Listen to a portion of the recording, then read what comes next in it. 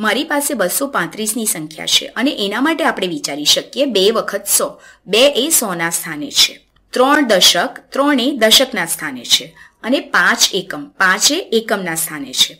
અને અહીં મેં એ ઘણા બધા ખાનાઓ દ્વારા દર્શાવ્યું છે. આ બસો પાંત્રીસ ખાના છે. આમ અહીં સો ખાનાના બે સમૂહ છે. આથી આ બે વખત સો છે. પછી આપણી પાસે ત્રણ દશક, એક, બે, ત્રણ અને પાંચ એકમ છે. ચાલો અહીં રસપ્રદ કરીએ. જો હું અહીં દસ ઉમેરું તો, જો હું દસ ઉમેરું તો શું થશે? જુઓ, હું દસ ઉમેરું છું એટલે કે આપણે અહીં એક દશક ઉમેરીએ છીએ. તો શું થશે? જુઓ, તે આ રીતે દેખાશે. હું અહીં ઝડપથી દસ ખાના દોરવાનો પ્રયત્ન કરું છું. એક, બે, ત્રણ, ચાર, પાંચ, છ, સાત, આઠ, નવ, દસ. એક, બે, ત્રણ, ચાર, પાંચ, છ, સાત, આઠ, નવ, દસ. આમ મેં દસ ઉમેર્યા. તો હવે આપણી પાસે શું છે? જો મારી પાસે ત્રણ દશક હતા અને એક દશક ઉમેર્યા, તો હવે મારી પાસે અહીં શું છે? તો હવે મારી પાસે ચાર દશક થશે. ચાર દશક જે હું પીળા રંગથી દર્શાવું છું. હવે અહીં ચાર દશક છે. મારી પાસે હજુ પણ પાંચ એકમ છે, કારણ કે હું અહીં કોઈ એકમ ઉમેરતી નથી, તો અહીં પાંચ એકમ છે. અને બે સો બાકી રહે છે. હું કોઈ સો પણ ઉમેરતી નથી. આથી મારી પાસે બે સો છે.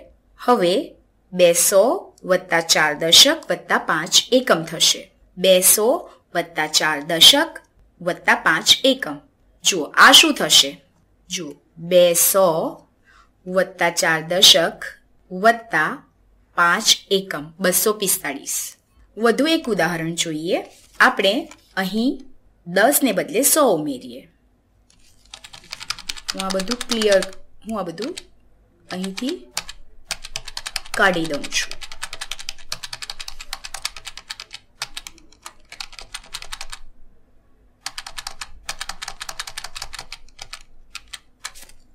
તો આને બરાબર એક સો વત્તા એક સો. તો મને અહીં શું મળશે?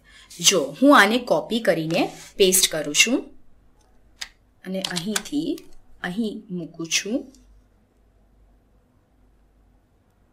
તો હવે મારી પાસે કેટલા સો છે? જુઓ, પહેલાં અહીં બે સો હતા, હવે એક સો ઉમેરું છું તો હવે મારી પાસે કેટલા સો છે? જુઓ, હવે મારી પાસે એક, બે અને ત્રણ સો છે. મારી પાસે ત્રણ સો છે. તો અહીં મારી પાસે પહેલા બે સો હતા, જેમાં મેં એક સો ઉમેર્યા. તો હવે મારી પાસે ત્રણસો છે. અહીં મારી પાસે ત્રણ સો છે.